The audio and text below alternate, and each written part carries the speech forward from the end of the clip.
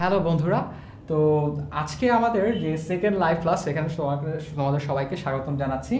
তো আমাদের অলরেডি একটা ক্লাস হয়ে গেছে, তো আগেরটার মতো এইখানেও ক্লাসটা হচ্ছে রবি টেন মিনিট স্কুলের সৌজন্যে এবং আমাদের পুরো প্রোগ্রামটার নাম হচ্ছে এয়ারটেল অ্যাডমিশন অলিম্পিয়াড টু তো তোমাদেরকে আবার স্বাগতম জানাচ্ছি দ্বিতীয় পর্বে। আজকের এখনকার অংশে আমরা শিখব জৈব যৌগের চারটা যৌগ নিয়ে। সেই চারটা যৌগ হচ্ছে অ্যালকেন, অ্যালকিন, অ্যালকাইন আর হচ্ছে অ্যালকাইল হ্যালাইট। তো এই চারটা যৌগ নিয়ে বিগত বছরগুলোতে যে কোশ্চেনগুলো এসেছে, বিভিন্ন ইউনিভার্সিটি যেমন ধরা যাক বুয়েট, ঢাকা ইউনিভার্সিটি চুয়েট, কুয়েট, রুয়েট, এসব বিভিন্ন জায়গায় যে প্রশ্নগুলো এসেছে, সেই অনুযায়ী কিছু প্যাটার্ন ভিত্তিক কোশ্চেন এবং আমি তোমাদের আরও কিছু জিনিস শেখানোর চেষ্টা করব, সেটা হচ্ছে কীভাবে নতুন কোনো একটা প্রবলেম আসলে তুমি সেটার ঠিকভাবে সলিউশন দিতে পারবে।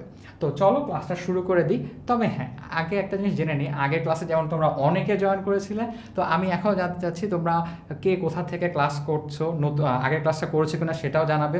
এখন নতুন আসলে সেটাও জানিয়ে দাও যে কমেন্ট সেকশনে আমি একটু পরে দেখব যে তোমরা কে কোথা থেকে আসছো। তো আমার পরিচয়টা আরেকবার দিয়ে নিই। আমি হচ্ছি পিয়াল সাহা। আমি ঢাকা বিশ্ববিদ্যালয়ে পড়ালেখা করছি বায়োকেমিস্ট্রি অ্যান্ড মলিকুলার বায়োলজি আমার সাবজেক্টের নাম এবং আমি আছি ফোর্থ ইয়ারে তো আশা করি তোমরা, তোমাদের অনেকেই এই ইউনিভার্সিটিতে আসবে, অথবা বুয়েটে যাবা, অথবা দেশের অন্যান্য ইউনিভার্সিটি চুয়েট রুয়েট, কুয়েট, অথবা সিইউ আর ইউ যে কোনো ইউনিভার্সিটিতে তোমরা চান্স পাবা ঠিকঠাক মতো। তো সেখানে তোমরা নিজেদের ক্যালিবারটা দেখাতে পারবে আশা করি। তো চলো, এখন আমরা আজকের ক্লাসটা শুরু করে দিই। তো ফার্স্টেই যেহেতু বলে দিতেছি যে আমরা এই চারটা যৌগের প্রশ্ন নিয়ে আলোচনা করব, তো এই নিয়ে আলোচনা করার আগে আমরা কয়েকটা বিষয় নিয়ে খেয়াল করব। সেই বিষয়গুলো হচ্ছে কার্বন সংখ্যা অসম্পৃক্ততা এবং প্রতিস্থাপন। অর্থাৎ এই চারটা যৌগ যে বললাম, এই চারটা যৌগের বিক্রিয়ার ক্ষেত্রে কার্বন সংখ্যা বাড়লো না কমলো, নাকি সমানই থেকে গেল? বিক্রিয়ার পর অসম্পৃক্ততা হলো?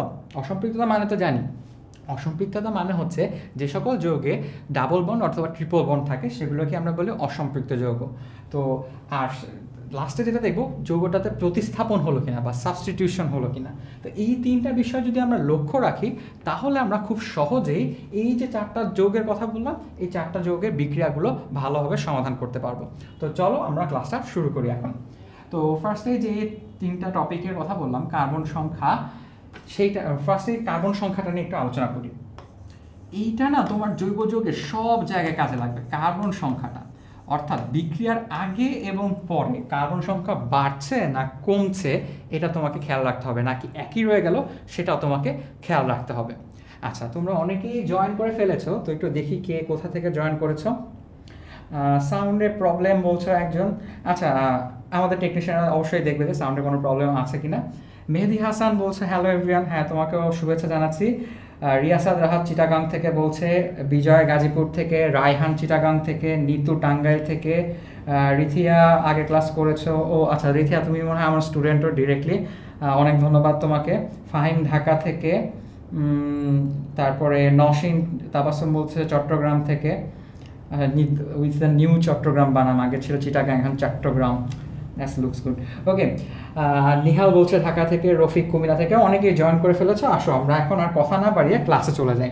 তো ক্লাসে আমরা যেটা দেখতে চাচ্ছিলাম কার্বন সংখ্যা। কার্বন সংখ্যা বাড়ছে না কমছে, সেইটা তোমাকে একটা বিক্রিয়া কেমন হবে সেটা ভালো উদাহরণ দিতে পারে। আমরা অ্যালকেন দিয়ে এটা খুব সহজে বুঝতে পারি। যেমন অ্যালকেনের প্রস্তুতির কথা যদি চিন্তা করি অ্যালকেন কীভাবে কীভাবে তৈরি করা যায়? যেমন, প্রথম যেই প্রস্তুতিটা আমরা সবাই শিখছি সবাই শিখছি এইভাবে যে এইটা কি জানো তো? এটা হচ্ছে ইথিন। তো ইথিনকে আমি যদি হাইড্রোজেন সাথে নিকেলের উপস্থিতিতে যোগ করে দিই, তাহলে কি পাওয়া যায়? অ্যালকেন পাওয়া যায়। মজার ব্যাপার দেখো, এইখানে কয়টা কার্বন আছে? দুইটা কার্বন। এখানেও কয়টা কার্বন আছে? দুইটা কার্বন। অর্থাৎ অ্যালকিন থেকে তুমি যদি হাইড্রোজেনেশন করো বা হাইড্রোজেন অ্যাড করো, তাহলে কার্বন সংখ্যার কোনো পরিবর্তন হয় না। কার্বন সংখ্যা সেম থেকে যায়। আচ্ছা তাহলে এইটা গেল এমন একটা উদাহরণ যেখানে কিনা বিক্রিয়ার আগে এবং পরে কার্বন সংখ্যা কি থাকবে? সেম থাকবে। তো চলো দ্বিতীয় আরেকটা উদাহরণ আমরা দেখে ফেলি। ধরো এই যৌগটা C H three CO O N A এটার নাম কি? সোডিয়াম ইথানয়েড সোডিয়াম ইথানয়েড কোথেকে আসে? খুব সহজ ব্যাপারটা। আমরা অলরেডি কার্বক্সিলিক অ্যাসিডের নাম জানি না। কার্বক্সিলিক অ্যাসিড যদি তুমি তার সাথে একটা সোডিয়াম হাইড্রোক্সাইড অ্যাড করে দাও, তাহলে কি হবে? একটা লবণ তৈরি হবে। সেই লবণটাই কি? এই CH three CO N A বা সোডিয়াম ইথানয়েড আচ্ছা তাহলে আমরা সোডিয়াম ইথানয়েড থেকে আসলো সেটা জেনে গেলাম। এই সোডিয়াম ইথানয়েডকে আমরা যদি সোডিয়াম হাইড্রোক্সাইড এবং ক্যালসিয়াম অক্সাইড এই দুইটা জিনিসের উপস্থিতি, এই দুটাকে একসাথে আমরা একটা নাম, ডাক নামেও ডাকি, সেটা হচ্ছে সোডা লাইম। তো এই সোডা লাইমের উপস্থিতি যদি এই বিক্রিয়াটা ঘটাই তাহলে একটা মজার ব্যাপার হয়। মজার ব্যাপারটা দেখো, এরকম একটা যৌগ তৈরি হয়। সোডিয়াম কার্বনেট আর হচ্ছে ইথেন সরি মিথেন। অর্থাৎ দেখো, এখানে তুমি শুরু করেছিলে কয় কার্বন দিয়ে? দুই কার্বন দিয়ে, অথচ এখানে পাচ্ছ কয় কার্বন? এক কার্বন। অর্থাৎ বিক্রিয়ার শুরুতে এবং শেষে কার্বন সংখ্যার পরিবর্তন ঘটছে। আরও ইম্পর্টেন্টলি বলতে গেলে, এখানে ছিল দুটো কার্বন এখানে একটা কার্বন অর্থাৎ এই বিক্রিয়া এমন এক ধরনের বিক্রিয়া যেখানে কিনা কার্বন সংখ্যা কমে যায়। তো এইটাকে আমি একটা স্পেশাল ওয়েতে মনে রাখতাম, কারণ অনেক কিছু তো তো আসলে বলা আছে মানে খেয়াল করাটা কঠিন হয়ে যায় যে কীভাবে এই বিক্রিয়াটা আমি লিখব। তো এটা খুব সহজ আছে। ব্যাপারটা হচ্ছে কি, আমরা বলতাম, এটা হচ্ছে কণা নাও বিক্রিয়া। কণা নাও কীভাবে? এই দেখো সি ও ও এন এ কণা এবং এই যে এখানে দেখো নাও এন এ ও কণা নাও। এই দেখো, এই কণা নাওটাই কিন্তু আসলে এই সোডিয়াম কার্বনেট। কীভাবে দেখো, কণাতে কি আছে একটা সোডিয়াম, নাওতে কি আছে একটা সোডিয়াম? তো দুইটা সোডিয়াম মিলে কি হয়? S N A two.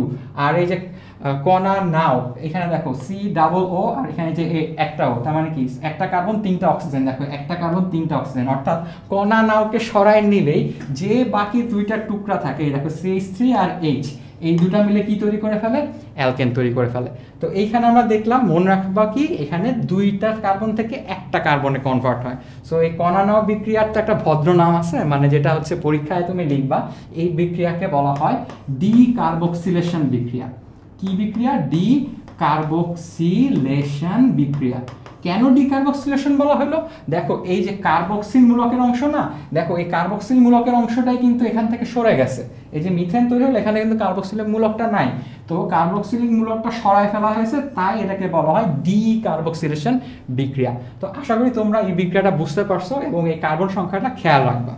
আচ্ছা তাহলে আমাদের আরেকটা বিক্রিয়া দেখা হয়ে গেল, যেখানে কিনা কার্বন সংখ্যা দুই থেকে একে নেমে আসে। তো বুঝতে পারছ, তিন দিয়ে শুরু করলে কত আসতো? দুই আসতো, চার দিয়ে শুরু করলে তিন আসতো। আশা করি তোমরা এই ব্যাপারটা বুঝতে পেরেছ। তো কার্বন সংখ্যার পরিবর্তনের উদাহরণে আমরা একটা বিক্রিয়া দেখলাম যেখানে কিনা সংখ্যা পরিবর্তন হয় না, এবং আরেকটা জায়গায় দেখলাম যে কার্বন সংখ্যা পরিবর্তন হয়, কিন্তু সেটা কমে যায়। তো এখন একটা প্রশ্ন আসতেই পারে ভাই যে আসলে কি সবসময় কারোর সংখ্যা কমে অথবা সমান থাকে? কারোর সংখ্যা কি বাড়তে পারে না? বাড়তেও পারে। যেমন এই বিক্রিয়াটা। ধরো, আমাদের কাছে আছে মিথাইল ক্লোরাইড, দুইটা সোডিয়াম, আবার ধরো এই মিথিয়া মিথাইল ক্লোরাইডটাই আবার আছে। এই জিনিসগুলোকে তুমি যদি শুষ্ক ইথারের উপস্থিতিতে বিক্রিয়া ঘটাও, তাহলে একটা জিনিস ঘটে। কিন্তু কি ঘটে? এই যে সোডিয়াম আছে না, সোডিয়াম, এই দুই, দুইটা সোডিয়াম, দুইটা ক্লোরাইডকে নিয়ে বের হয়ে চলে আসবে। তাহলে দুইটা সোডিয়াম, দুইটা ক্লোরাইডকে নিয়ে বের হয়ে আসলে কি হবে? দুইটা সোডিয়াম ক্লোরাইড আটি থাকল, এই যে সিএইচ থ্রি আর এই সিএস থ্রি এই দুটা জোড়া লেগে যাবে। তাহলে এই হচ্ছে আমাদের সিএইচ থ্রি এই হচ্ছে আমাদের সিএইচ থ্রি তাহলে দেখো, তুমি ইন্ডিভিজুয়াল চিন্তা করে দেখো, শুরু করছিলে কয় কার্বন মিথাইল ক্লোরাইড দিয়ে এখানেও কি মিথাইল ক্লোরাইড? কিন্তু শেষে কি পাচ্ছ? শেষে পেয়ে যাচ্ছে হচ্ছে দুই কার্বনের অ্যালকেন, যেটাকে আমরা বলি হচ্ছে ইথেন। তাহলে দেখো, এখানে এক কার্বনের যৌগ নিয়ে শুরু করলেও এক কার্বনের অ্যালকেন নিয়ে শুরু করলেও তুমি লাস্টে কি পাচ্ছ? দুই কার্বনের একটা যৌগ পেয়ে যাচ্ছ। অর্থাৎ এই ক্ষেত্রে কার্বন সংখ্যা বেড়ে যায়। তো বুঝতেই পারলা যে কার্বন সংখ্যা বাড়তেও পারে, কমতেও পারে, আবার কি হতে পারে? সমানও থাকতে পারে। তো তিনটা উদাহরণই জানলাম। তো আগেরটার নাম কি জেনেছিলাম যে? ডিকার্বক্সিলেশন। আগে, তার আগেরটা ছিল কি? হাইড্রোজিনেশন তাহলে এইটার কি নাম? এটার একটা বিশেষ নাম আছে, সেটা হচ্ছে তোমরা সবাই জানো উডস রিয়াকশন এটা হচ্ছে আমাদের উডস রিয়াকশনের একটা উদাহরণ। তো এই হচ্ছে আমাদের একটা আমরা তিনটা উদাহরণ দেখলাম যে কার্বন সংখ্যার ভিত্তিতে কীভাবে চেঞ্জ আসতে পারে বিক্রিয়াগুলোতে। তো এইটা যদি জেনে ফেলি, তো চলো এখন আমরা কিছু প্রশ্ন সলভ করার দিকে যাই। দেখো, এখানে তোমাদের জন্য দুইটা প্রশ্ন রয়ে গেছে। প্রথম প্রশ্নটায় দেখো বলা হচ্ছে এ যোগের সাথে সোডিয়াম হাইড্রোক্সাইড এবং ক্যালসিয়াম অক্সাইড যোগ করা হয়েছে। পাওয়া যাচ্ছে কি? পাওয়া যাচ্ছে হচ্ছে ইথেন। তাহলে প্রশ্ন করা হয়েছে এই এ যৌগটা আসলে কে? মানে কার সাথে এই সোডা লাইমটা যোগ করলে আমরা ইথেন পাবো? তো আমরা অলরেডি জেনে গেছি যে সোডা লাইম কোন বিক্রিয়া ইউজ করা হয়? সোডা লাইম ইউজ করা হয় হচ্ছে, তোমরা মনে করে দেখো ডি কার্বক্সিলেশন বিক্রিয়ায় ইউজ করা হয়। তো অলরেডি তো তোমরা জেনেই গেছো ডি কার্বক্সিলেশন বিক্রিয়ার নীতিটা কি? এখানে কি হয়? কার্বন সংখ্যা একটা কমে যায়। তাহলে এখানে যদি দুই রেজাল্টে থাকে, আন্দাজ করো তো এইখানে কয় কার্বনের যৌগ হবে এ তাহলে সেই যদি আন্দাজ করতে পারো অ্যান্সারটা কমেন্টে জানায় দাও, আমি দেখতেছি তোমরা কয়জন সঠিক অ্যান্সার দিতে পারো। তো একই সাথে দেখো, এই কোশ্চেনটাও খেয়াল করো। এখানে বলা হয়েছে, শুষ্ক ইথারের উপস্থিতিতে দুইটা যৌগ বি এবং সি এর মধ্যে সোডিয়াম অ্যাড করা হয়ে গেছে। এবং শেষে তুমি কি পাচ্ছ দেখছ? শেষে তুমি পেয়ে যাচ্ছ তিন কার্বনের একটা অ্যালকেন। অর্থাৎ এটার নাম কি? প্রোপেন। তো যেহেতু শুষ্ক ইথার আছে, সোডিয়াম আছে, তোমরা অলরেডি বুঝে গেছো এটা কি ধরনের রিয়াকশন একটু আগে দেখালাম। এটা তাহলে কি বিক্রিয়া? এটা হচ্ছে উডস রিয়াকশন তো দুইটা রিয়াকশনেরই আমরা উদাহরণ দেখেছি। তো দুইটারই আশা করি আমরা অ্যান্সারটাও পারব। তোমরা দ্রুত এই দুইটা কোশ্চেনের অ্যান্সার কমেন্টে জানিয়ে দাও। আমি ততক্ষণে চেক করে দেখি কেউ অলরেডি অ্যান্সার দিয়ে ফেলেছো কি না ওকে ফার্স্টে তাহমিদুর রহমান বলল, বুঝলাম ওকে থ্যাংকস তোমার, তুমি বুঝতে পারছ আমার খুব ভালো লাগল। হাসি বক্স রিয়াকশন দিয়ে মনে আমিও মনে রাখি। হ্যাঁ হাসি বক্স রিয়াকশন দিয়ে মনে রাখাটা খুব সহজ একটা ব্যাপার। ওকে তারপরে সোহানুর রহমান সোহান হ্যাঁ বিক্রিয়া হাসিব বলতেছো ইথেন আচ্ছা কোনটা? ইথেন কোনটা? একটু স্পেসিফিক করো। পুলক ও ইথেন বলতেছো। ইথেন কোনটার অ্যান্সার একটু ভালো করে বলো ভাই। আমি তো এর কথা জানতে চাচ্ছি। এ বি সি এই তিনটা কি কি জিনিস সেটা জানতে চাচ্ছি। একটু খেয়াল করো তো কে কোনটা বলতেছো। আচ্ছা হ্যাঁ হ্যাঁ এখন মনে হয় অ্যান্সার পেয়ে গেছি। ওয়ান ই ওয়ান একে ই হলো প্রোপানয়েক অ্যাসিড আর দুয়ে হচ্ছে মিথাইল হ্যালাইড আর বি হচ্ছে গিয়ে ইথাইল হ্যালাইড। হাসিব তোমার দ্বিতীয় উত্তরটা একদম পারফেক্ট হয়েছে। হাসিব এটার উত্তর ঠিকঠাক মতো দিয়েছে। তো হাসিবের জন্য কনগ্রাচুলেশন প্রথমটা না, শুধু প্রোপানয়েক অ্যাসিড দিলে হবে না, তোমাকে আগে থেকেই সোডিয়াম প্রোপানয়েড দিয়ে রাখতে হবে।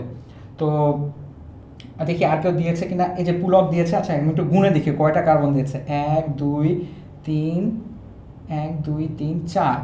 আমাদের যোগ্যটা কি ছিল? আচ্ছা পুলক, একটু কার্বন ক্যালকুলেশনে মিস ক্যালকুলেশন হয়ে গেছে। তিশা বলছে CH two CH two CO N A okay এইটার অ্যান্সার সবার আগে ঠিক দিয়েছে তিশা।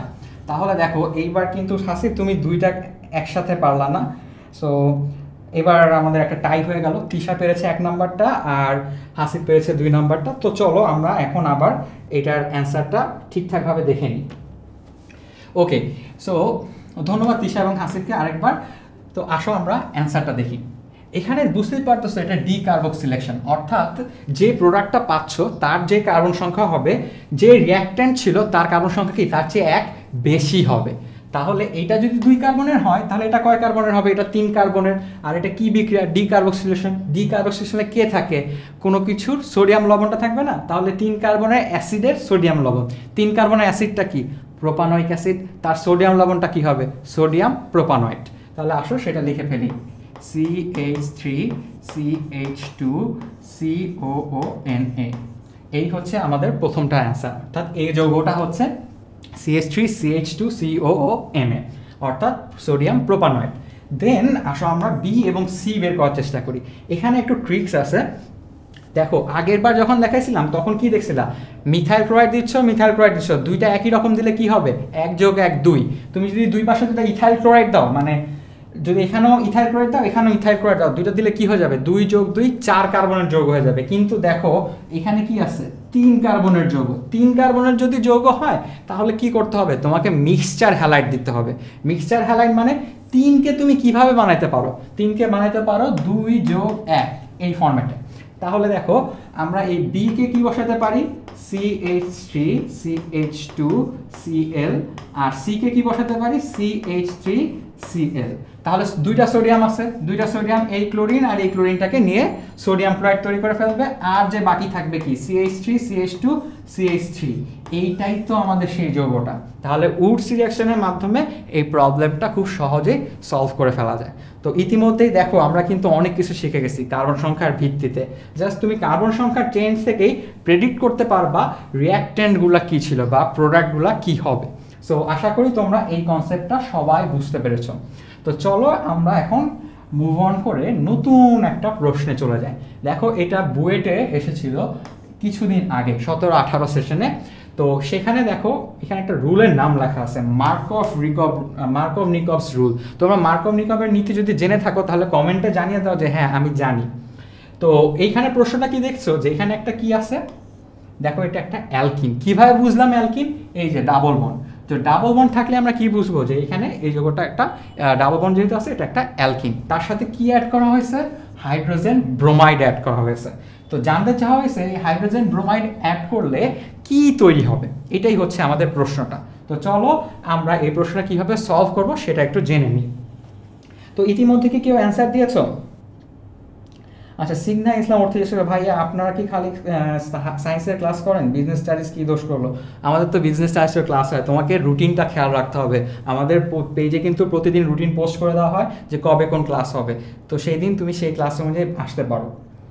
তো এখন আর কেউ কি প্রশ্ন করেছ?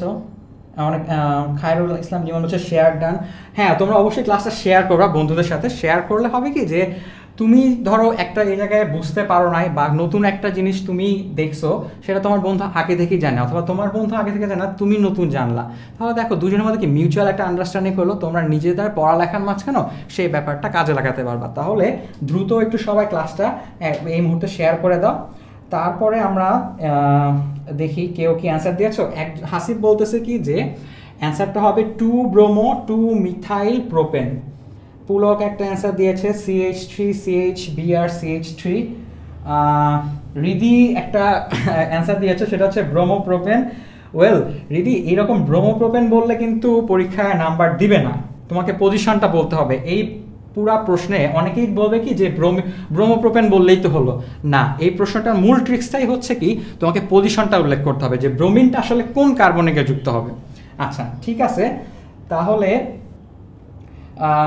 আমরা চলা শুরু করে দিই এই অ্যান্সারটা আচ্ছা লিমন যেসব বুয়েটে হয়তো বা পরীক্ষা দিতে পারব না, অন্য ভার্সিটিরগুলো করার। আচ্ছা ব্রোধ একটা জিনিস মনে রাখবা যে রুয়েটের পরীক্ষা হোক রুয়েটের হোক বা ঢাকা ইউনিভার্সিটির হোক, বই কিন্তু তোমার সেমই থাকতেছে।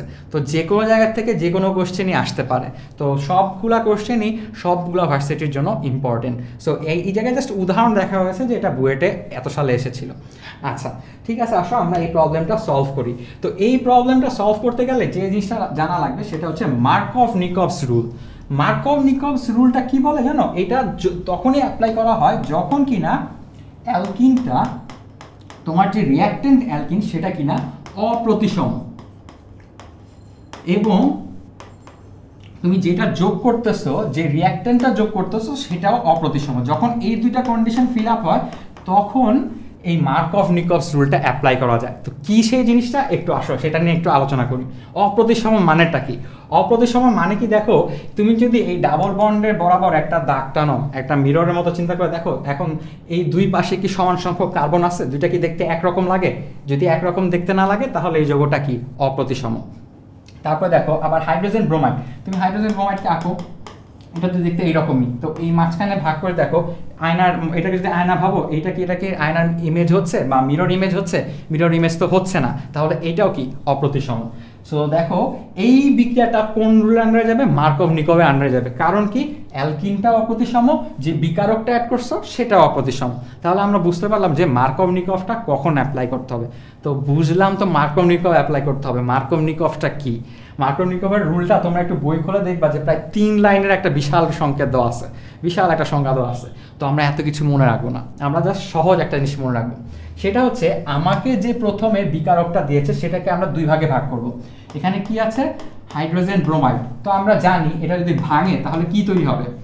প্রোটন আর হচ্ছে ব্রোমাইড। তাই তো? তো একটা কি ধনাত্মক আয়ন, একটা কি ঋণাত্মক আয়ন।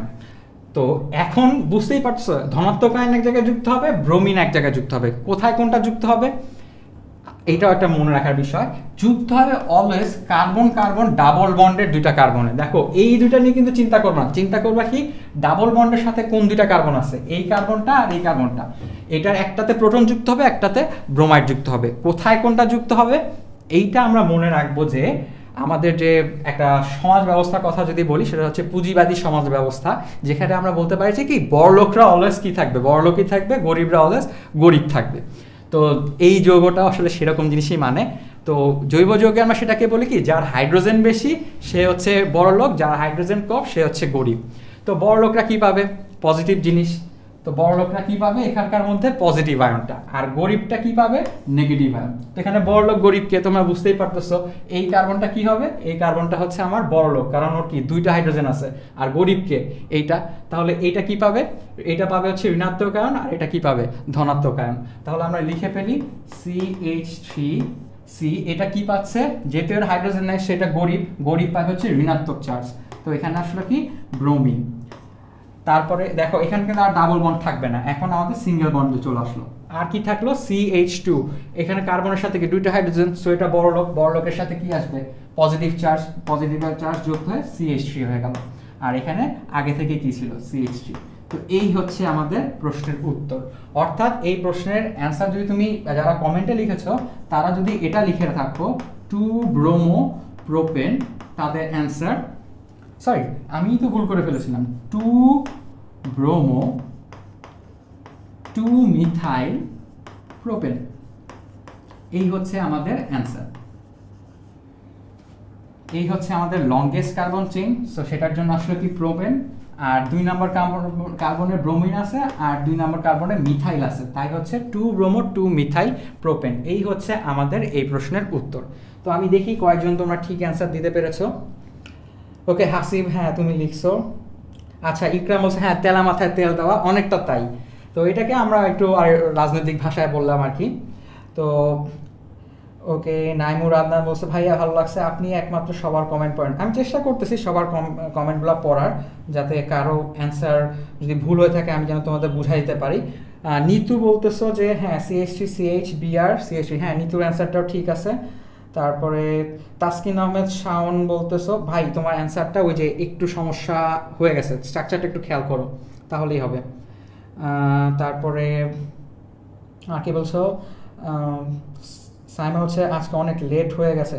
আমাদের তো লেট হয়নি, তোমার আসতে দেরি হয়ে গেছে। ওকে সমস্যা নাই, বাকি যে ক্লাসটা আছে সেটা মনোযোগ দিয়ে দেখো, আশা করি বুঝতে পারবা। ওকে তাহলে আমাদের ফার্স্ট প্রবলেমটা শেষ। এখন আসো একটা স্পেশাল প্রবলেম এই প্রবলেমটা একটু খেয়াল করে দেখো। আগের কোশ্চেনটাই সেম মনে হচ্ছে না? এই যে সেই প্রোপিন তারপর কি দেওয়া আছে? এইচ বলছে। এখানে কিছু লেখা নেই। দ্যাট মিনস হচ্ছে কি, এখানে কি সেটাই তোমাকে লিখতে হবে। তোমরা একটু জানাও তো এখানে কি অ্যান্সারটা কি হবে। আমি একটু চেক করে দেখি তোমরা এই অ্যান্সারটা পারো কিনা। খুব দ্রুত খুব দ্রুত, এটা অ্যান্সার খুব দ্রুত দিতে হবে। কারণ দেরি করলে বোঝা যাবে আসলে ঠিক অ্যান্সারটা কি। এখানে বলছে two bromo two methyl propane propane না। জয়পাল বলছে বুঝি নাই। কোনটা বুঝো নাই সেটা একটু স্পেসিফিকলি বলো, আমি আরেকবার ট্রাই করব বোঝানোর। হাসিব বলতেছ এন্টি মার্কভ নিকভ হ্যাঁ এন্টি মার্কভ নিকভ তো বুঝলাম। অ্যান্সারটা কি সেটা বলো।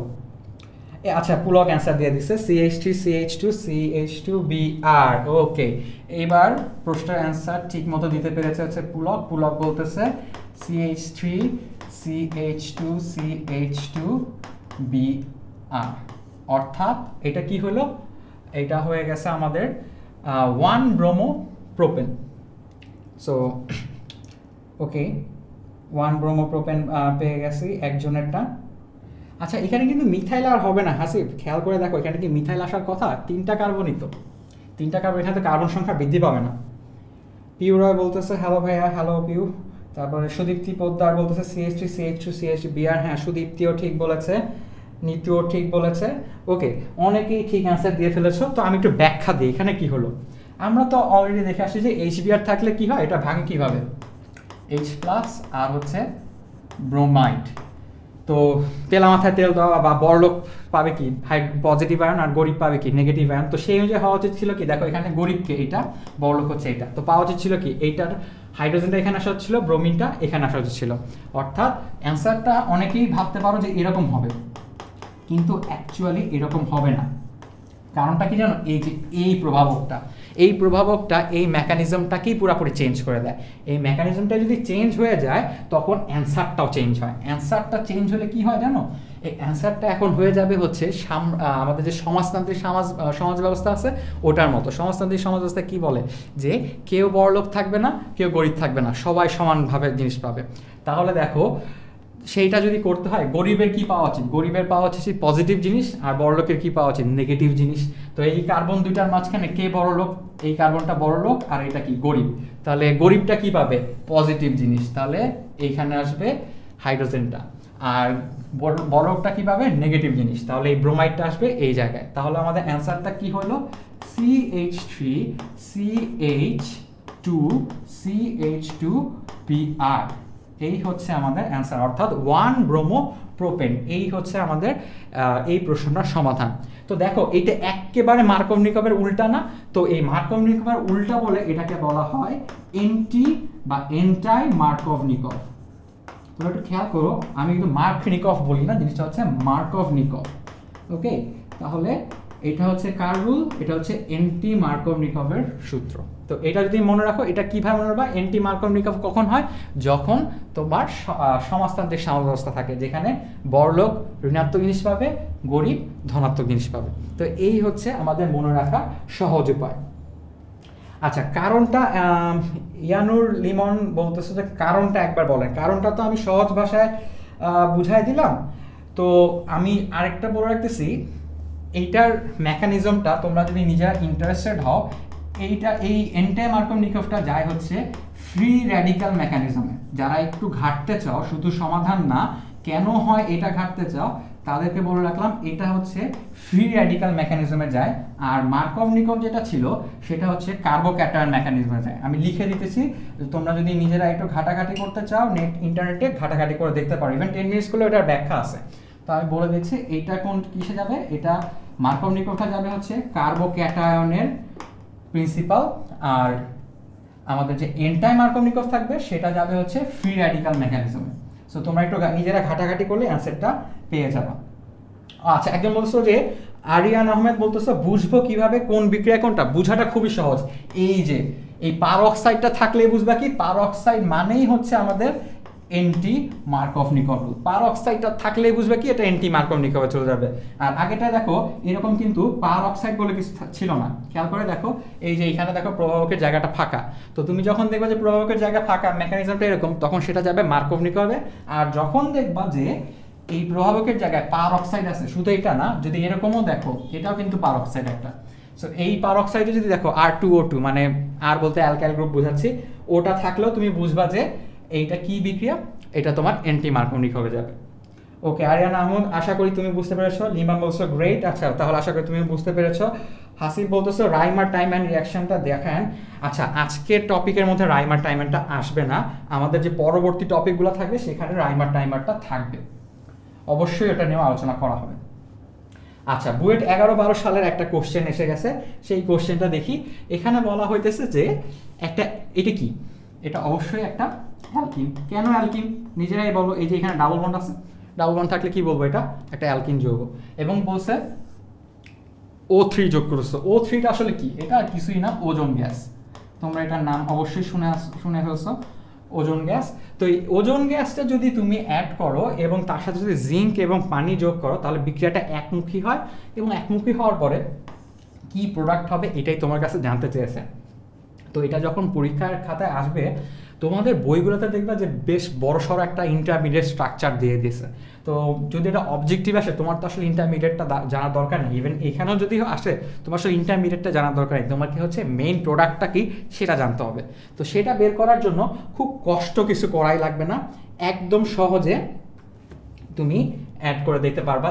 আমি জাস্ট একটা টেকনিক দেখা দিচ্ছি, এটা কীভাবে সলভ করবা। এইটা সলভ করা খুবই সহজ। এখানে তোমার মূল কাজটা হবে কি একটু কালারটা চেঞ্জ করে নিই।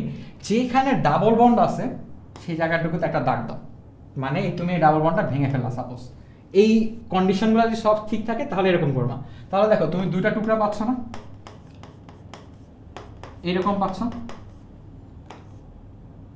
দুইটা হাইড্রোজেন এরকম দুটো টুকরা পাচ্ছ না একদম মাঝখানে ধরো কেটে দুই টুকরা আলাদা করে দিচ্ছি যদি এরকম হয়ে যায়, তো এই ওজন ওজোনোলাইসিসের সময় এইভাবে ভেঙে ফেলবা। ভেঙে ফেলে এই যে দেখো কার্বনের দুটো হাত খালি, এই কার্বনের দুটো হাত খালি। দুটা হাতে দুটো অক্সিজেন ধরে দাও। তাহলে তোমার অ্যান্সার হয়ে গেল। এই যে এটা একটা দেখো কিটোন আর এটা কি? অ্যালডিহাইড। এই হচ্ছে আমাদের ওজোনোলাইসিসের অ্যান্সার তো তোমার ওই যে বিভিন্ন ঘর বাড়ি টাইপের একটা অক্সিজেনের ইন্টারমিডিয়েট স্ট্রাকচার ওটা আঁকার দরকার নেই। জাস্ট এই নিয়মটা ফলো করবা। কি করবা? এই রকম বিক্রিয়া আসলে দুইটা বন্ড ভাঙবা। মনে রাখবা, শুধুমাত্র দুইটা বন্ড ভাঙবে। কার্বন কার্বন যে ডাবল বন্ড আছে ডাবল বন্ড ভাঙবে, ঠিক আছে?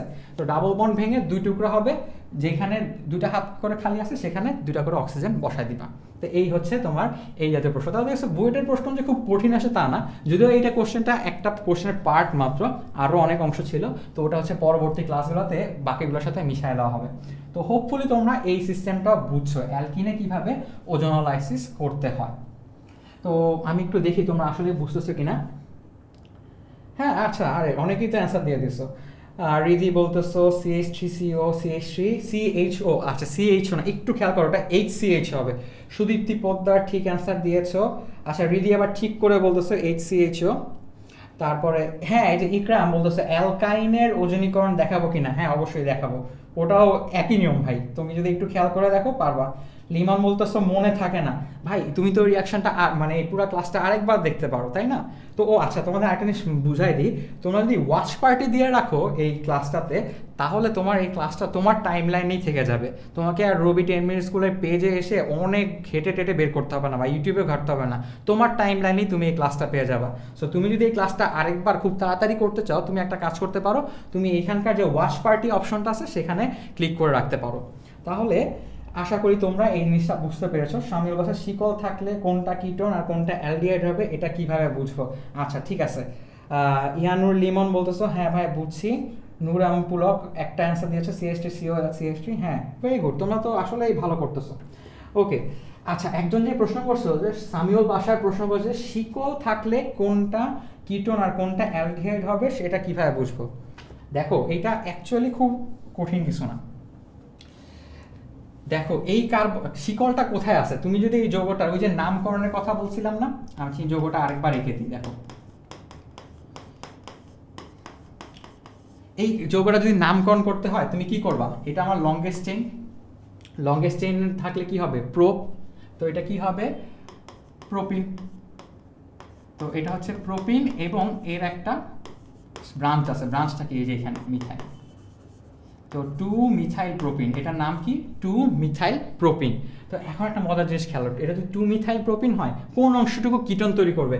খুবই সহজ ব্যাপার ব্রো এই যে দেখো টু মিথাইল প্রোপিন আছে না? মিথাইলটা কোন কার্বনের সাথে যুক্ত? এই কার্বনের সাথে না? তাহলে কিটনটা তৈরি হবে এই কার্বনের সাথে। বাকিটার সাথে কি তৈরি হবে? অ্যালডিহাইড খুব সহজ একটা ব্যাপার। আশা করি সামিল বাসার তুমি অ্যান্সারটা পেয়ে গেছো। তাহলে ওকে আচ্ছা ইকরাম বলতেছে ইথাইনেরটা একটু দেখায় দিয়েন। হ্যাঁ হ্যাঁ দেখাবো আমি যাচ্ছি, এইখানেই যাচ্ছি। আগে আসো, অ্যালকাইনের একটা ইম্পর্টেন্ট বিক্রিয়া হচ্ছে পানি সংযোজন। সেই পানি সংযোজনটা নিয়ে একটু কথা বলে নিই, তারপর আমরা ওটারও ওজোনোলাইসিস দেখার চেষ্টা করব। ওকে তো এখানে প্রশ্নটা কি আছে? এটা দেখো, ঢাকা ইউনিভার্সিটির প্রশ্ন। কে যেন একটা প্রশ্ন করেছিল যে, ভাই, খালি কি বুয়েটের প্রশ্নে অ্যান্সার করবেন নাই, দেখো, ঢাকা ইউনিভার্সিটি চলে আসছে। আসলে র্যান্ডমলি সিলেক্ট করা হয় তো, অনেক ভার্সিটি কোশ্চেনে আসতে পারে। তো এই হচ্ছে আমাদের সিক্স প্রশ্ন আজকের ক্লাসের এখানে দেখো, এটা কি? এটা আমাদের একটা অ্যালকাইন অ্যালকাইন কীভাবে বুঝব? এই যে দেখো কার্বন কার্বন কি আছে? ট্রিপল বন্ড কার্বন কার্বন যদি ট্রিপল বন্ড থাকে, তাহলে সেটা কি হবে? অ্যালকাইন তো এইখানে বলছে যে এখানে পানি সংযোজন করতে হবে। তো পানি সংযোজনের নিয়মটা তুমি ওই মার্কমনিককের উপর দিয়ে চালা দিতে পারো। কীভাবে? মার্কমনিক আচ্ছা পানি সংযোজন মনে রাখার আরেকটা সহজ উপায় হচ্ছে কি? এটা যে পানি সংযোজন করতেছে, এটা তুমি বুঝবা হচ্ছে এইটুকু দেখে। খেয়াল করে দেখো। Twenty percent sulphuric acid two percent mercuric sulphate. এইটা যদি যখনই থাকবে আর পানি থাকবে, বুঝবা কি? এটা হচ্ছে অ্যালকাইনের পানি সংযোজন বিক্রিয়া। তো এই বিক্রিয়াটা কীভাবে আমি মনে রাখব? এটা ভাঙে হচ্ছে এইভাবে। পানি কীভাবে ভাঙে? এইচ প্লাস আর হচ্ছে ওইচ মাইনাস এটা তো সবাই জানি। তো এখন আসো, আমরা এই প্রশ্নটা সমাধান করে ফেলি। তো এইটা ওই মার্কভ নিকমের মতো মনে রাখতে পারো। মার্কম নিকম অনুযায়ী দেখো, কি হবে? এখানে কার্বন কার্বন কি? তিনটা বন্ড আছে। ফার্স্টে কি? একটা বন্ড ভাঙবে। তো বন্ড ভাঙলে কোথায় কোনটা যাবে? এই কার্বন আর কার্বনের মধ্যে একজন প্রোটন নিবে, একজন হচ্ছে হাইড্রোক্সেল নিবে। প্রশ্ন হচ্ছে কে কোনটা নিবে? সহজ কথা। গরিবকে, এই কার্বনটা যে গরিব, সে কীভাবে নেগেটিভ জিনিস, যে বড় লোক, এই দুটো কার্বন বড় লোককে, এটা কার্বনের সাথে একটা হাইড্রোজেন আছে, সে কীভাবে ধনাত্মক জিনিস। তাহলে তোমার যৌগটা কি হবে? ফার্স্টে যৌগটা হবে এটা। সিএইচ থ্রি সিওএইচ আর হচ্ছে এই সিএইচ টু এই হচ্ছে তোমার প্রাথমিক অ্যান্সার এইটা এখানে থামবে না। কারণ কি বলতো? এইটা কি যোগ ওই যে অ্যালকিন বন্ড আছে, আর সাথে কি আছে? হাইড্রোক্সিল গ্রুপ আছে, তার মানে কি? ইনল কম্পাউন্ড এটা কি একটা? ইনল কম্পাউন্ড তো ইনল কম্পাউন্ড তো এইভাবে থাকে না। ইনল কম্পাউন্ড যেন কি হয়? টটোমারাইজেশন হয়। কি হবে? টটোমারাইজেশন। সো এটা টটোমারাইজেশন হইলে টটোমার যদি তৈরি হয়, টটোমারটা কি হবে? টটোমারটা হবে এইরকম।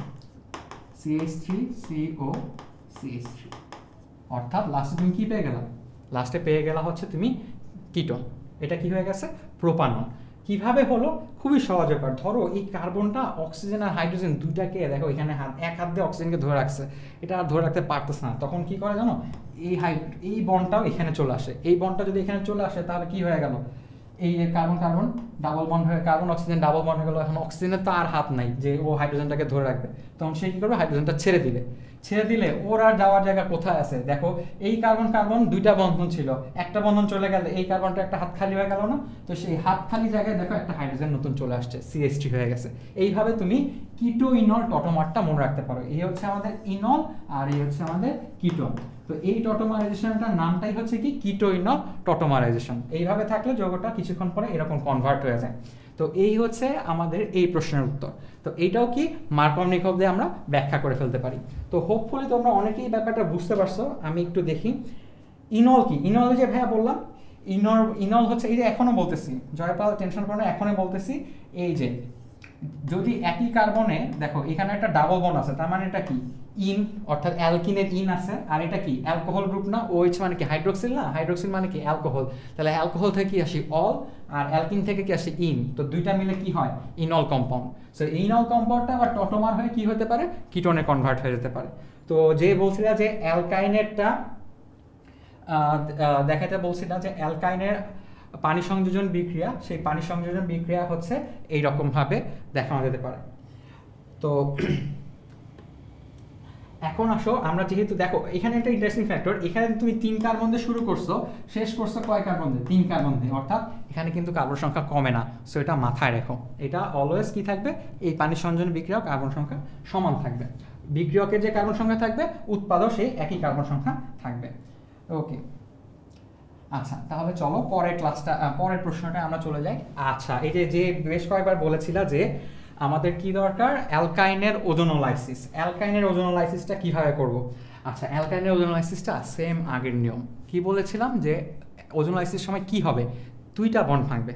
তো কার্বন কার্বন এখানে কয়টা বন্ড আছে? তিনটা বন্ড। তাহলে তুমি কয়টা বন্ড ভাঙবা? অ্যাকচুয়ালি দুইটা বন্ড ভাঙবা। সো এখানে ধরো তুমি আচ্ছা আমি একটু কালারটা চেঞ্জ করে দেখাই। এখানে তুমি জাস্ট দুইটা বন্ড ভাঙবা। তিনটা না কিন্তু, দুইটা বন্ড। তো যদি দুইটা বন্ড ভেঙে দাও, তাহলে কি হবে? এই কার্বন আর কার্বনের বন্ধন কিন্তু পুরোপুরি ভাঙবে না। দুইটা বন্ড ভাঙছে, তাহলে কি দুইটা? দুইটা করে হাত খালি হয়ে গেছে। তাহলে সেই হাত খালিগুলোতে অক্সিজেন দিয়ে দাও।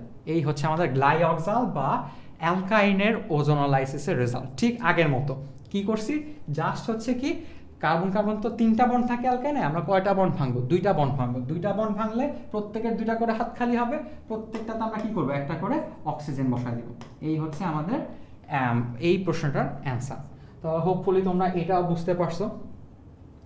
আচ্ছা মোস্তফা বলতেছে S N one S N two reaction হ্যাঁ অবশ্যই এটা দেখাবো।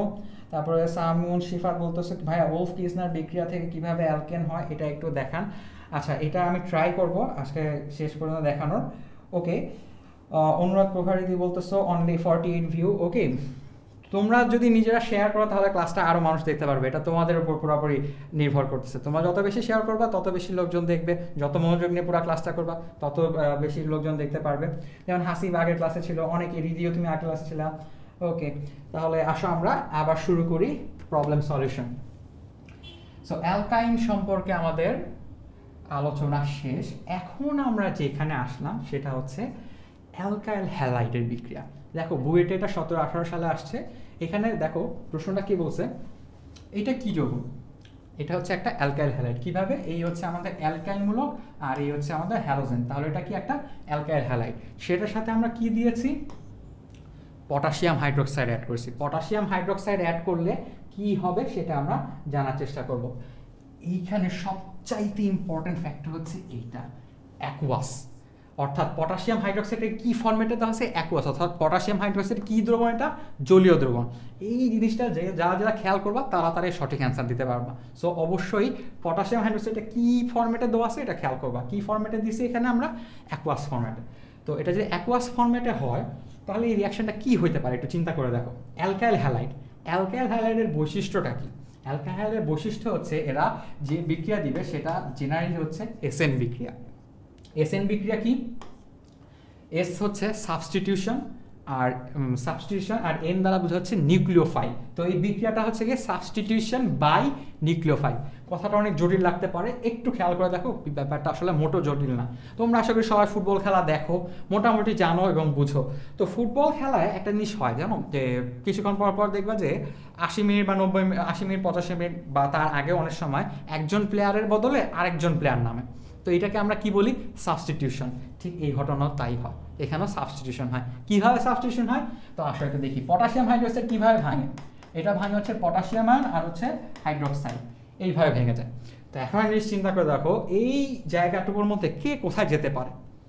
আমরা জানি কার্বন আর হ্যালোজেন এদের মধ্যে অবশ্যই কিসের গ্যাপ থাকে? তড়িৎ ঋণাত্মকতার গ্যাপ থাকে। অর্থাৎ এই যে কার্বন আর হ্যালাইডের হ্যালোজেনের মধ্যে যে সিঙ্গেল বন্ড এই বন্ডের ইলেকট্রনগুলা যে বেশি তড়িৎ সে নিজের দিকে টানবে।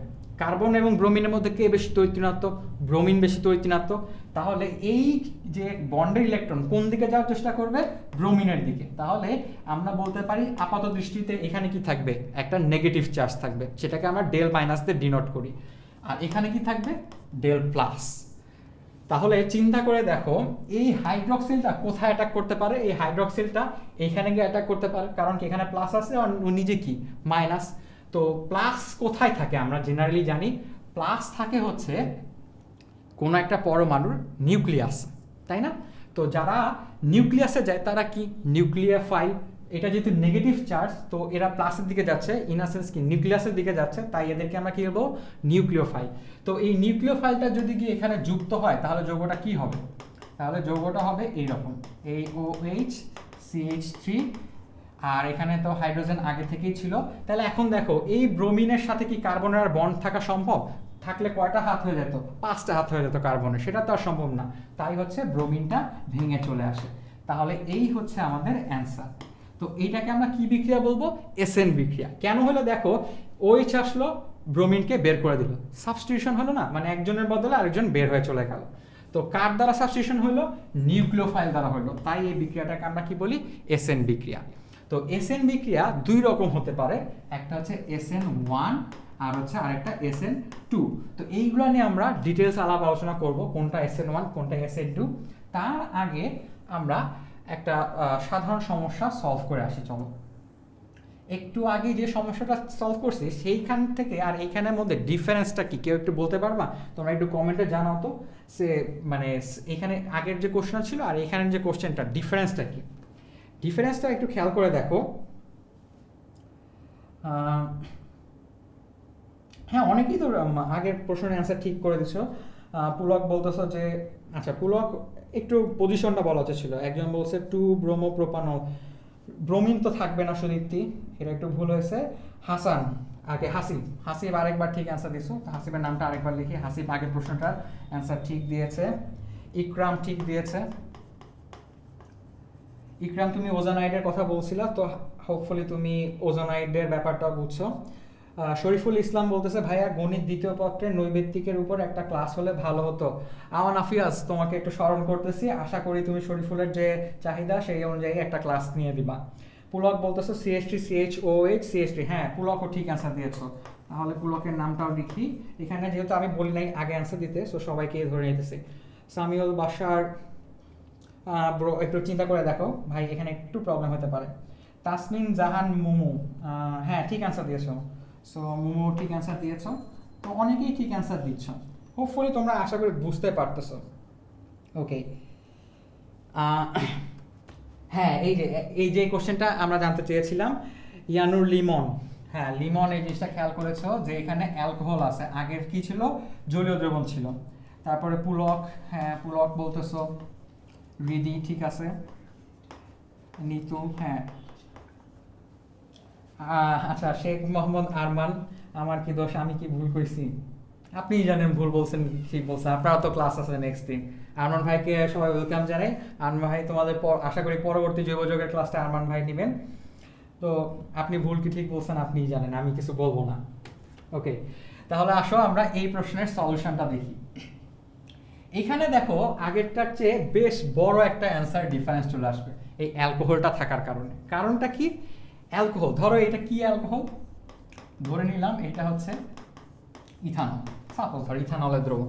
তো ইথানলের সাথে যদি পটাশিয়াম হাইড্রোক্সাইডের বিক্রিয়া করো, তাহলে কি হবে জানো? সিএইচ থ্রি সিএইচ টু এইটা।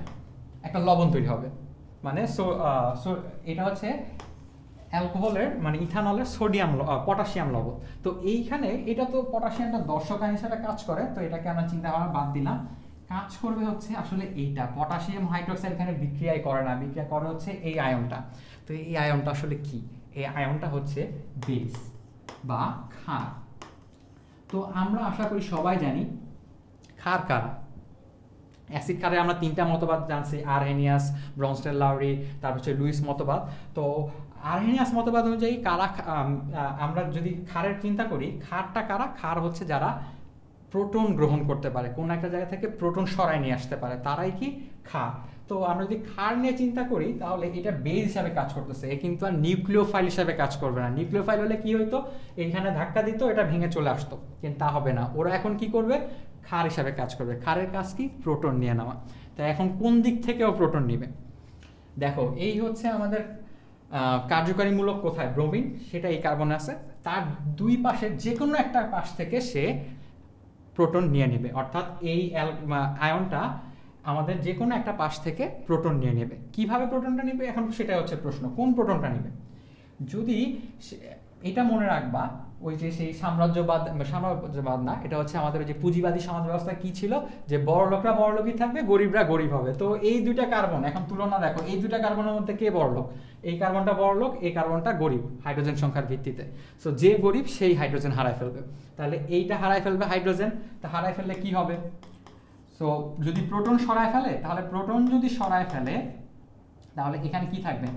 কার্বন, একটা হাইড্রোজেন আর প্রোটন যেহেতু গেছে বন্ডের ইলেকট্রন কি? ওর কাছেই থেকে যাবে। C H C H three আর হচ্ছে ব্রোমিন এখন চিন্তা করে দেখো, এখানে কি ডেল প্লাস এখানে কি থাকবে ডেল মাইনাস কারণ কি? ওই যে হ্যালোজেনের সাথে কার্বনের তৈরিতা তফাত আছে। তাহলে এইটা কোথায় চলে যাবে? এইখানে। তাহলে আমার অ্যান্সারটা কি হবে দেখো তো? এই ব্রোমিনের বন্ধনটা ভেঙে যাবে। ভেঙে গেলে আমার রেজাল্টটা চলে আসবে এরকম C H three C H C H C three এই হচ্ছে আমাদের অ্যান্সার এই একটা অ্যালকিন তৈরি হবে। দেখো, আগেরটার থেকে কি একটা ডিফারেন্ট অ্যান্সার চলে আসলো। খেয়াল করে দেখো, আমরা যদি আগেরটার অ্যান্সারে চলে যাই, এই দেখো, এখানে কি হয়েছে দেখো? একটা হাইড্রোক্সিল গ্রুপ যুক্ত হয়েছে। যে পটাশিয়াম হাইড্রোক্সাইড হাইড্রোক্সিল এখানে যুক্ত হয়েছে। এখানে তফাৎটা কি ছিল? অ্যাকোয়াস ছিল। এই যে এই জায়গাটুকু খেয়াল করে দেখো, এখানে কি আছে? অ্যাকোয়াস অথচ এখানে জাস্ট একটা স্লাইড চেঞ্জের কারণে কি একটা বিশাল পরিবর্তন চলে আসলো। এই যে সেই প্রশ্নটা দেখো। এইখানে দেখো অ্যালকোহলও দিলাম। এখন আর কোনো ইয়ে আসতেছে না। মানে অ্যালকোহলই না, জিনিসটা কিসে চলে গেছে? অ্যালকিনে চলে গেছে। আশা করি সবাই বুঝতে পারছ যে ডিফারেন্সটা কোথায় চলে গেল। সো শুধুমাত্র রিয়াকশন মিডিয়ামটা চেঞ্জ করলে কত বড় একটা চেঞ্জ আসে। তো এই বিক্রিয়াগুলোকে আমরা বলি হচ্ছে এলিমিনেশন বিক্রিয়া। এলিমিনেশন বা অপসারণ বিক্রিয়া। বাংলায় কি বলব? অপসারণ। তো অপসারণের শর্তই হচ্ছে কি? আমি এখন তোমাদের মনে রাখার সহজ উপায়টা বলে দিব। মনে রাখবা এইভাবে। কন্ডিশনটা কি? খেয়াল করবা। পটাশিয়াম হাইড্রোক্সাইডটা কি অ্যালকোহলীয় দ্রবণ আছে কিনা? যদি অ্যালকোহলীয় দ্রবণে থাকে, তাহলে যে কার্বনের সাথে ব্রোমিন আছে, সেখান থেকে ব্রোমিন সরবে। আর তার পাশে যে কার্বন, দেখো তো দুইটা কার্বন, এই একটা কার্বন, আবার এই একটা কার্বন, দুইটা কার্বন আছে।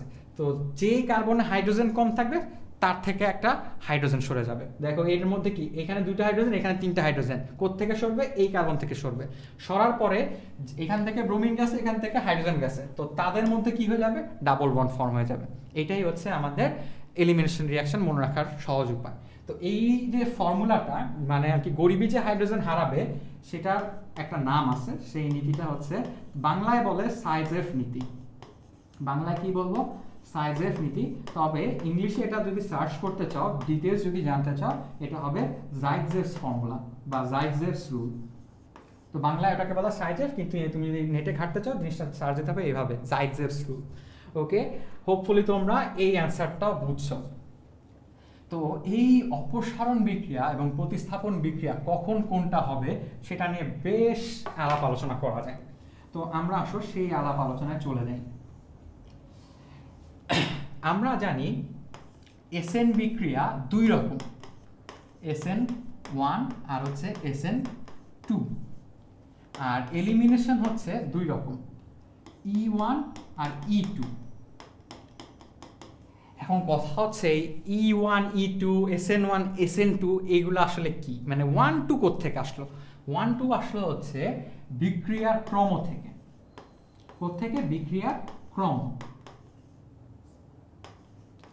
ফার্স্ট অর্ডারের যে রিয়াকশন অর্থাৎ যে বিক্রিয়ার অর্ডার এক বা বিক্রিয়ার ক্রম এক, সেটা হচ্ছে এস এন ওয়ান অথবা ই ওয়ান আর যে বিক্রিয়ার ক্রম হচ্ছে দুই, সেটা হচ্ছে এস এন টু অথবা ই টু ঠিক আছে? তো এইটার মধ্যে আমরা আলাপ আলোচনা করতে পারি যে কখন এস এন ওয়ান হবে, কখন এস এন টু হবে। তো সেটা মনে রাখার জন্য আমি তোমাদের একটা বড় সড়ো চার্ট দেখাতে চাই। তোমরা হোপফুলি সবাই একটু খাতা কলম নিয়ে আসো। তোমরা একটু চেষ্টা করো এইটা তুলে ফেলা এই হচ্ছে তোমার ultimate chart S N one এবং এস এন টু তো এখানে যদি তোমরা আরেকটা জিনিস করতে পারো মনে রাখার জন্য যে তুলে ফেলতে গেলে তো সময় লাগবে, তার চেয়ে বরং একটা কাজ করো স্ক্রিনশট নাও। আমি স্ক্রিনের থেকে একদম সরে যাচ্ছি, তুমি এইভাবে একটা স্ক্রিনশট নিয়ে রাখো এবং স্ক্রিনশটটা তুমি এখানে কমেন্ট করে রাখতে পারো, যাতে বোঝা যায় যে হ্যাঁ তুমি আসলে মনে রাখতে যাচ্ছ এবং এখানে একটা স্মৃতি থাকল যে হ্যাঁ স্ক্রিনশটটা রয়ে গেছে। তো দেখি তোমরা কেউ স্ক্রিনশট দাও কি না তো একটু আচ্ছা ক্লিয়ার দেখা যায় না। রাকিং ক্লিয়ার কি করা যায়? একটু চেষ্টা করতো। ওকে তুমি একটু বোর্ডটাকে ফোকাস করো। আমি ততক্ষণে হ্যাঁ স্ক্রিনশট সোহান বলতেছে স্ক্রিনশট ডান ওকে সবচেয়ে হ্যাঁ আদনান বলতেছে যে সবচেয়ে বিরক্তিকর সময় যখন নেট কাজ করে না। এটা আসলে দুঃখজনক ব্যাপার, যখন নেট কাজ করে না, যখন তুমি পড়তে পড়তে চাচ্ছ, তখন ব্যাপারটা আসলে প্রশ্নের হয়ে যায়। তো এখন আসো আমরা এই ক্লাসটার এই পার্টে এসে এইখানে চার্টে কি কি বলছে সেটা একটু বুঝে নিই। দেখো, এখানে বেশ কিছু কথা আছে। এস এন ভার্সেস ই অর্থাৎ কখন এস এন বিক্রি হবে, কখন এলিমিনেশন বিক্রি হবে, সেটা কীভাবে মনে রাখব? যদি দেখো মিথাইল হ্যালাইড আছে, সেটা শুধুমাত্র এক ধরনের বিক্রিয়া দিবে। প্রশ্ন যদি অবজেক্টিভ আসে, সেটা কি ধরনের বিক্রিয়া দিবে? এস এন টু বিক্রিয়া দিবে। অলওয়েজ কি? এটা এস এন টু বিক্রিয়া দিবে। যদি হ্যালাইটটা এক ডিগ্রি হয়, এক ডিগ্রি হ্যালাইট বলতে কি বুঝব? এক ডিগ্রি হ্যালাইট বলতে বুঝব হচ্ছে এইরকম। এক ডিগ্রি হ্যালাইট হচ্ছে মিথাইল হ্যালের সাথে তফাৎ কি? মিথাইল হ্যালে দেখো কোনো আলাদা অ্যালকাইল মূলক নাই, কিন্তু এখানে দেখো একটা অ্যালকাইল মূলক আছে। তো এই রকম একটা অ্যালকাইল মূলক থাকলে সেটাকে কি বলব? এক ডিগ্রি হ্যালাইট তারা সে জেনারেলি কি দিবে? এসএন টু বিক্রিয়া দিবে। কিন্তু ট্রিপল বি থাকলে দিবে হচ্ছে এলিমিনেশন টু হচ্ছে ট্রিপল বিটা কি? প্রশ্ন আসতে পারে যে ভাই ট্রিপল বি কি? ট্রিপল বি হচ্ছে বিগ বাল্কি বেস তো বিগ বাল্কি বেস তো বিগ বাল্কি বেস থেকে ট্রিপল বি কীভাবে আসলো? এই বি এই বি এই বি তিনটা বি মিলে হচ্ছে ট্রিপল বি ট্রিপল বি থাকলে আমরা বলি রিয়াকশনটা হবে হচ্ছে এলিমিনেশন টু ট্রিপল বির একটা উদাহরণ দেখাই দিই। যদি তুমি দেখো বিক্রিয়া এইরকম কিছু আছে CH three C CH three CH three এইরকম একটা জিনিস যদি দেখো, বুঝতেই পারতেছো এটা সাইজটা কি দেখছ? বিশাল না? আর এটা কি খার হিসাবে কাজ করবে যে মাইনাস চার আছে সো এটা বেস হিসাবে কাজ করতে পারে। আর সাইজটা দেখছ বিগ বাল্কি আর এটা কি বেস তো এইরকম বিগ বাল্কি বেস যখন থাকবে, তখন রিয়াকশনটা যদি একটু অবজেক্টিভে থাকে, তাহলে তুমি বলবা কি রিয়াকশনটা যাবে কি? এলিমিনেশন টু রিয়াকশন ওকে বা ই টু রিয়াকশন ওকে তারপরে আমরা আসি টু ডিগ্রি টু ডিগ্রি সাধারণত কোন বিক্রিয়া দিবে? এসএন টু বিক্রিয়া। টু ডিগ্রি যদি এস এন টু বিক্রিয়া দেয়, শুধুমাত্র যখন শক্তিশালী ক্ষার থাকবে, তখন সেটা হবে কি? এলিমিনেশন টু শক্তিশালী ক্ষার কারা? এ যে অ্যালকাইন মূলক আর হচ্ছে একটা অক্সাইড যদি এরকম থাকে এইরকম কোনো বেরিজ দেখতে পাও, তখন সেটাকে কিসে নিয়ে যাবে? এলিমিনেশন রিয়াকশন এবং এলিমিনেশনের কোন অর্ডারে যাবে? Second order E two normally এটা কোথায় থাকবে? যদি সাধারণ কন্ডিশন ওই যে আগে উদাহরণগুলো দেখালাম, তখন হচ্ছে সেটা এস এন টু বিক্রিয়া থাকবে।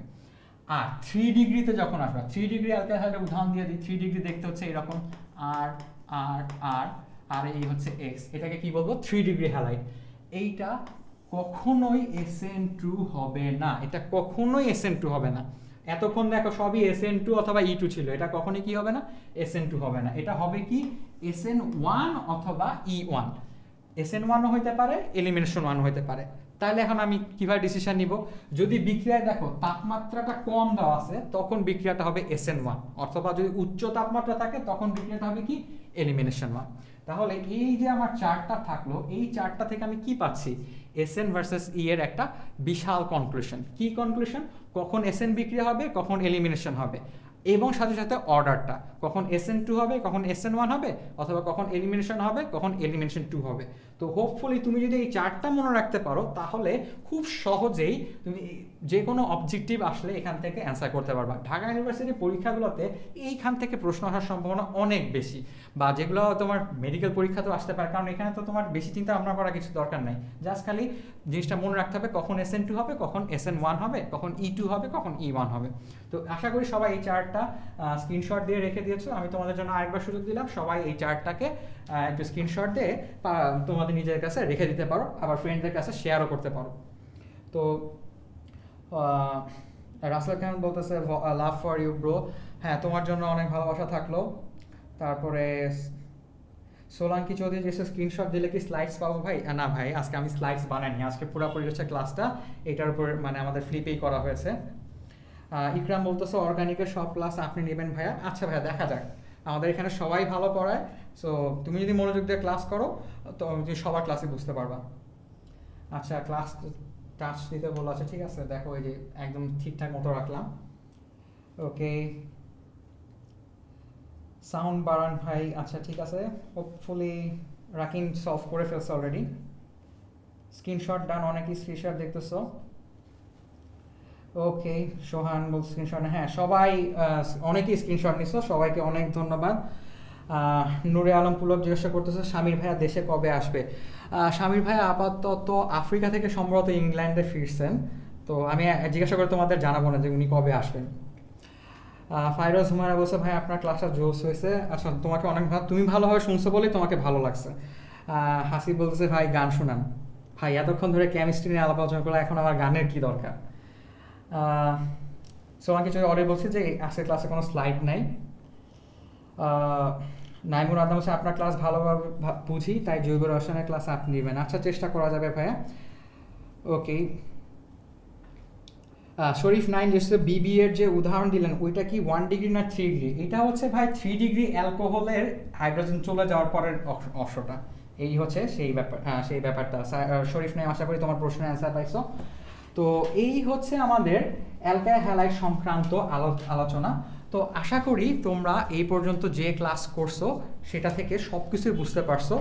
আর হ্যাঁ অবশ্যই একটা জিনিস ভুলে গেছিলাম তোমাদের একটা প্রশ্নের অ্যান্সার কিন্তু আমি দিতে চাইছিলাম আগের ক্লাসে দেই নাই। তো সেই প্রশ্নটা আরেকবার দেখাই। আমি দুইটা অ্যারোমেটিক যৌগ কিনা সেটা জানতে চাইছিলাম। এই হচ্ছে সেই যৌগটা, আরেকটা যৌগ এইটা। তোমরা দেখি, কয়জন বলতে পারো? আগের ক্লাস যারা যারা করছ এ এবং বি কোনটা অ্যারোমেটিক কোনটা অ্যারোমেটিক না? লাস্ট একটা কুইজে অ্যান্সার দিয়ে ফেলো। দেখে, আমি একটু ওয়েট করতেছি। ওকে আর রায়ান আহমেদ বলছে, বিজয় থ্যাংকস পিয়া বিজয়। থ্যাংকস দেওয়ার আগে অ্যান্সারটা বলো। দেখি, তুমি যদি অ্যান্সার ঠিকমতো দিতে পারো, তাহলে বুঝব যে আমার ক্লাসটা আসলেই ভালো হয়েছে। সজীব থ্যাংকস ভাইয়া বলতেছো। ওকে তুমি আবার একটু চেষ্টা করো অ্যান্সারটা দেওয়ার। আমাদের, আমি শর্তগুলো আরেকবার লিখে দিই। অ্যারোমেটিকের শর্ত কি? সমতলীয় হতে হবে। অর্থাৎ সবগুলো হাইব্রিডাইজেশন এমন হবে, সবগুলো কার্বনের যে যৌগটা সমতলীয় হবে। আর একটা কি ছিল? কনজুগেট সিস্টেম অর্থাৎ রেজোনেন্স দেখা যাবে এমন একটা সিস্টেম থাকতে হবে। অর্থাৎ ইলেকট্রনগুলো মুভ করবে। আর থার্ড হচ্ছে কি? ফোর এন প্লাস টু সংখ্যক পাই ইলেকট্রন থাকবে। এই অ্যান্সার এই তিনটা শর্ত যদি মিলে, তাহলে এ হয়তো বা হতে পারে অথবা বি হয়তো হতে পারে। কার কি মনে হয়? কোনটা অ্যারোমেটিক এ না বি ওকে হাসিব আরেকবার বলো তো। ভাই, আমি ঠিক খেয়াল করি করিনি দুই নম্বরটা হবে না, পুলক বলতেছো। একটু ভেবে চিন্তা বলো জান্নাতুল নাইম বিজয় বলতেছো যে এ হবে মেবি সাবিকুন বলতেছো এ লিমন বলতেছিল এ বি নো বি হবে না। আচ্ছা বিয়ের প্রতি সবার এত বিদ্বেষ কেন? বি কেন হতে পারে? বি বি বি ফর বিদ্বেষ, এরকম অবস্থা? এ ফর অ্যারোমেটিক আচ্ছা ঠিক আছে, আমি একটু বুঝাই দিই। দেখো, সমতলীয়, এইখানকার প্রত্যেকটা কার্বন আসলে সমতুল্য। তুমি হাইব্রিডাইজেশন হিসাব করে দেখবে যে প্রত্যেকটা কার্বনে আসলে একই হাইব্রিডেশন আছে। যেমন এটা SP two SP two SP two এটা এসপি টু সো সবগুলা এখানে এসপি টুতেই আছে। সো এটা সমতুল্য থেকে গেল। কনজুগেট সিস্টেম ইলেকট্রন মুভ করতেই তো পারবে। এখান থেকে এখানে মুভ করবে, এটা এখান থেকে এখানে মুভ করতে পারবে। সো মুভিং অবস্থা আছে। Four N plus two I সংখ্যক পাই ইলেকট্রন খেয়াল করে দেখো। এখানে তোমার এন কত হবে? এখানে চক্র কয়টা আছে? বা, চক্র টক্র বাদ দাও। এন এর সংখ্যা কি হয়? জিরো থেকে ওয়ান টু থ্রি ফোর তো সংখ্যাগুলো কি হয়? টু সিক্স টেন এই তো? টু আমি এখানে লিখে দিই। ইলেকট্রন কি কি থাকতে হবে? Two six ten pi electron এখানে পাই ইলেকট্রন দেখতেই পারতেছো কয়টা আছে? দুইটা পাই বন্ড তার মানে পাই ইলেকট্রন কয়টা? মাত্র চারটা। এই যে লাস্ট ফর্মুলাটা ফর্মুলাটাতে গিয়ে এ আটকা পড়ে গেল। এই আসলে আমাদের অ্যারোমেটিক না। তো বুঝতেই পারতেছো যে এ অ্যারোমেটিক না হলে কি বি অ্যারোমেটিক আমি তো ভাই বলে দিই নাই যে এ অ্যারোমেটিক না হলে বি অ্যারোমেটিক কিনা। তবে হ্যাঁ বিটা অ্যারোমেটিক কীভাবে? ওই হাইব্রিডেশন সবার সমতুল্য কনজুগেট সিস্টেম এটা এখানে মুভ করতে পারে, তারপরে এটা এখানে আসতে পারে সো এরকম করে আবার এটা এখানে আসতে পারে সো ইলেকট্রনগুলো এখানে সবগুলা মুভিং তো এটাও ফিল আপ করতেছে, এটাও ফিল আপ করতেছে। লাস্টে কি দেখো, ছয়টা পাই ইলেকট্রন আছে এখানে, কীভাবে? এই যে নেগেটিভ চার্জটা দেখতেছো কার্বন যে সিগমা বন্ড তৈরি করছে, তার মানে ওর কি ফাঁকা আছে? পি অরবিটাল ফাঁকা আছে পি অরবিটালে যদি ইলেকট্রন থাকে, সেটাই কি? পাই ইলেকট্রন না? তো এই পাই ইলেকট্রনগুলো এখানে রয়ে গেছে, তো এখানে নেগেটিভ চার্জ মানে কি? এখানে আসলে কয়টা ইলেকট্রন আছে? দুইটা ইলেকট্রন আছে। সো দুইটা ইলেকট্রন যদি থেকে থাকে এইখানে এই বন্ডের জন্য দুইটা ইলেকট্রন এইখানে দুইটা ইলেকট্রন তাহলে টোটাল কয়টা ইলেকট্রন হলো? ছয়টা ইলেকট্রন তাই এইটাকে আমরা কি বলব? এইটা হচ্ছে একটা অ্যারোমেটিক কম্পাউন্ড তো হোপফুলি তোমরা সবাই অ্যান্সার পাইছো যে কোনটা অ্যারোমেটিক কোনটা নন অ্যারোমেটিক তো আশা করি তোমরা আজকের ক্লাস যে দুইটা হলো সেই দুইটা আরেকবার উম, যখন সমস্যা হবে তখনই দেখবা এবং পরবর্তী টাইমে ক্লাসগুলো আরেকটু ভালো করে করার চেষ্টা করবা। তো আজকের মতো সবাইকে অসংখ্য ধন্যবাদ। যারা যারা ক্লাসে ছিলা, সবার জন্য অনেক শুভেচ্ছা থাকল। নেক্সট ক্লাসগুলোতেও তোমরা খুবই অ্যাটেন্টিভলি অ্যাটেন্ড করবা।